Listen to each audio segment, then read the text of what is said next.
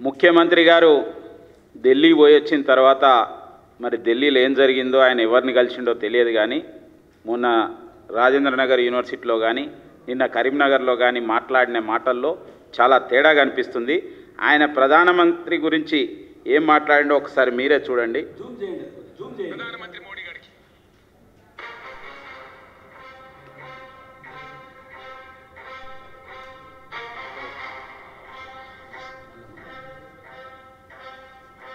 మళ్ళీ చూపెడతా.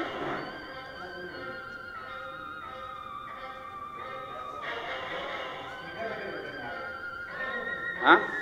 కిందికా. ప్రధానమంత్రి మోడీ గారికి.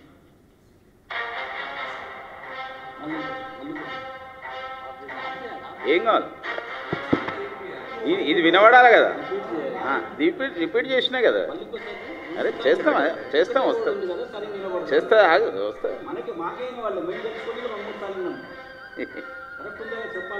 చెప్తాం. ఒకసారి చూడండి. ఇక్కడే పెట్టినారే. ప్రధానమంత్రి మోడీ గారికి.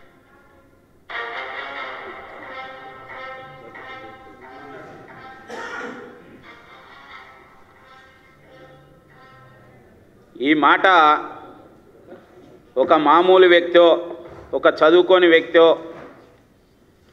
ఓ గ్రామ గ్రామ పంచాయతీలు ఉండే వ్యక్తి మాట్లాడలేదు. స్వయాన ఈ రాష్ట్రానికి ముఖ్యమంత్రి రాజ్యాంగం పైన ప్రమాణం చేసి రాజ్యాంగం ప్రకారం పరిపాలన చేస్తానని చెప్పి ప్రకటించిన యొక్క ముఖ్యమంత్రి దేశంలో రా- అదే రాజ్యాంగం ప్రకారం కోట్లాది మందికి ప్రతినిధిగా ఇవాళ దేశ ప్రధానమంత్రిగా ఉన్న యొక్క ప్రధానమంత్రిని ఈ విధంగా అవమానపరచడాన్ని ఎవరు కూడా సహించలేకుంటున్నారు. బేషరతుగా క్షమాపణలు చెప్పాలని చెప్పి కేసీఆర్ను భారతీయ జనతా పార్టీ డిమాండ్ చేస్తున్నది ఇవాళ. ఇది ఒక్కటే కాదు మీరు. ముఖ్యమంత్రిగా ఈ రాష్ట్రంలోని యొక్క ప్రజలందరినీ పార్టీలకు అతీతంగా కులాలకు అతీతంగా ప్రాంతాలకు అతీతంగా అందరినీ సమానంగా చూస్తానని చెప్పి రాజ్యాంగం పైన ప్రమాణం స్వీకారం చేసి ముఖ్యమంత్రి అయిన మీరు రైతు సమన్వయ సమితులలో కేవలం టీఆర్ఎస్ వాళ్ళే ఉంటారనే యొక్క మాట మరొకసారి ఎట్లా చెప్పిందో ఇవాళ ప్రజలందరికీ వివరణ ఇవ్వవలసిన అవసరం ఉన్నది ఇవాళ. ఇవాళ మీరు మాట్లాడుతున్న యొక్క మాటలు కావాలని మాట్లాడుతున్నారా? మీ తప్పిదాలను కప్పిపుచ్చుకోవడం కోసం ప్రజలలో మీ పరువు ప్రతిష్ట పోతున్నది కాబట్టి ఎన్నికల్లో ఓడిపోయే దశలో ఉన్నారు కాబట్టి దాన్ని ఇవాళ మలపడం కోసం మరొక పక్క డైవర్ట్ చేయడం కోసమే ఇటువంటి మాటలు మాట్లాడుతున్నారా ఏమిటి అనేది ఇవాళ మీరు చెప్పవలసిన అవసరం ఉన్నది.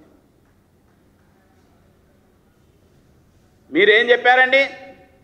ప్రధానమంత్రి గారికి ఇరవై సార్లు చెప్పాను మన్రేగాను వ్యవసాయానికి అనుసంధానం చేయమని. నేను ఒక్కటే ఛాలెంజ్ చేస్తున్నాను. వ్యవసాయానికి అనుసంధానం అంటే ఏమిటో చెప్పు. వ్యవసాయానికి అను అనుసంధానం అంటే ఏమిటో చెప్పు నువ్వు. ఇవాళ ఇప్పటికే వ్యవసాయానికి అనుసంధానం మన్రేగా అయింది. చాలా విషయాలలో పంట కుంటలను నియమి నిర్మించడం జరుగుతున్నది. మొన్నటి బడ్జెట్లో ఇరవై రెండు వేల గ్రామీణ మార్కెట్లు తెలంగాణలో అంగళ్ళు అంటాం ఆ అంగళ్ళను నిర్మించడానికి ఇవాళ మన్రేగా నిధులను వెచ్చిస్తామని కూడా ప్రధానమంత్రి గారు చెప్పడం జరిగింది. అనేక చోట్ల పంట కాలువలు తవ్వడానికి ఉపయోగించడం జరుగుతున్నది. అనేక చోట్ల గ్రామీణ ప్రాంతాలకు రోడ్లు నిర్మించడానికి ఇవాళ చేయడం జరుగుతున్నది. అది వ్యవసాయానికి అనుసంధానం కాదా అని నేను అడుగుతున్నా. వ్యవసాయానికి అనుసంధానం అంటే ఏమిటి? మీ టీఆర్ఎస్ కార్యకర్తల జేబుల్లోకి డబ్బులు ఇవ్వడమే అనుసంధానమా? నరేంద్ర మోడీ తెలంగాణ ప్రజల కోసం వ్యవసాయ యాంత్రీకరణ కోసం ట్రాక్టర్లను పంపిస్తే ఈ ట్రాక్టర్లను మీరు అమ్ముకుంటున్న నిజం కాదా ఇవాళ? ఏమి డ్రా ఎందుకు తీయడం లేదు? మీ టీఆర్ఎస్ యొక్క నాయకులకు లేకపోతే అనుచరులకు మాత్రమే ఈ ట్రాక్టర్లు ఎందుకు వస్తున్నాయి? నీకు దమ్ము ఉంటే ఒక వైట్ పేపర్ రిలీజ్ చేయి. ఏ జిల్లాలో ఎవరికి ట్రాక్టర్లు వచ్చినాయో?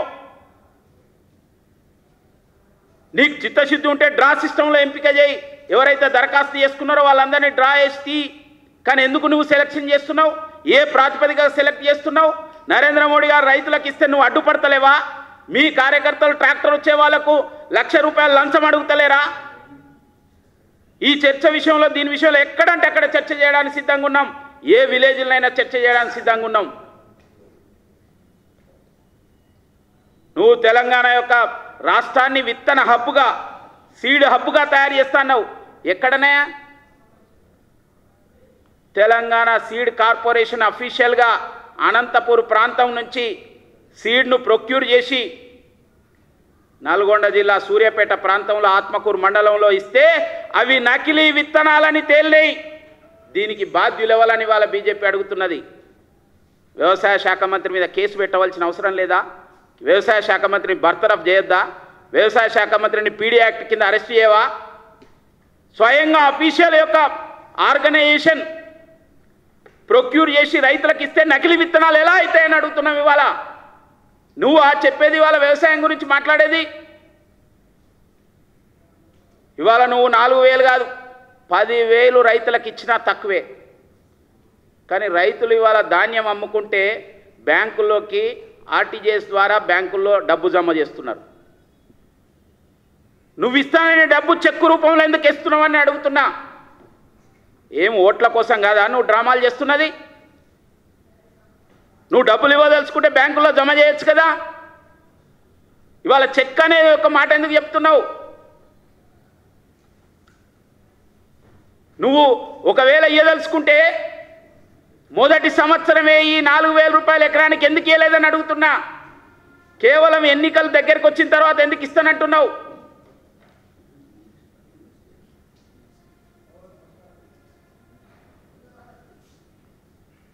మద్దతు ధర గురించి మొన్న మాట్లాడినావు నువ్వు.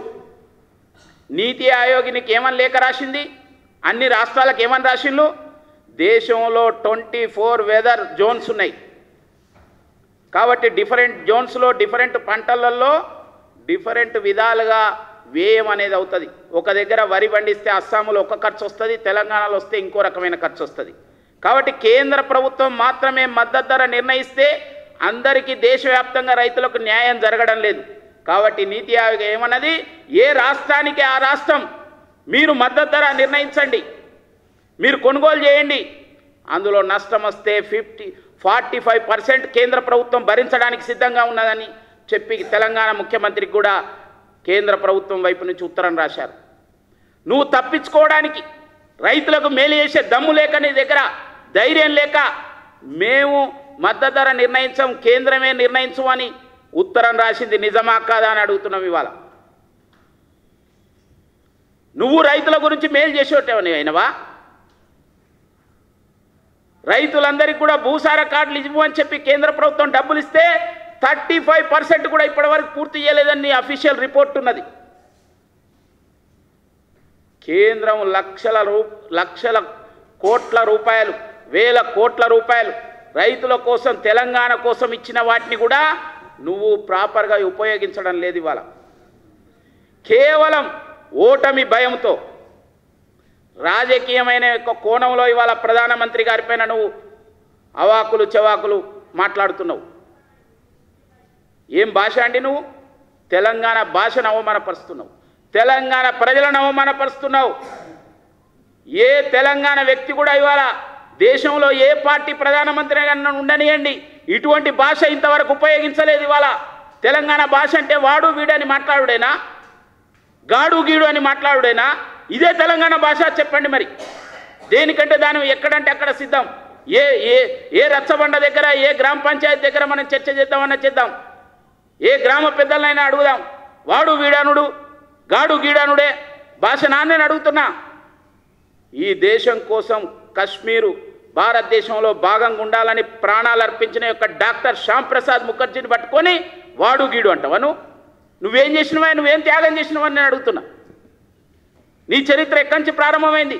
కాంగ్రెస్లో యూత్ కాంగ్రెస్ నుంచి మొదలుకొని ఇప్పటి వరకు నువ్వు ఎన్ని పార్టీలు మార్చినావు?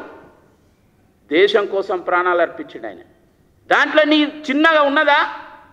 ఇటువంటి మాటలతో ఇటువంటి గ్యారెడీతో ఎన్నికల్లో గెలుస్తావంటే ఇది జరగని పని.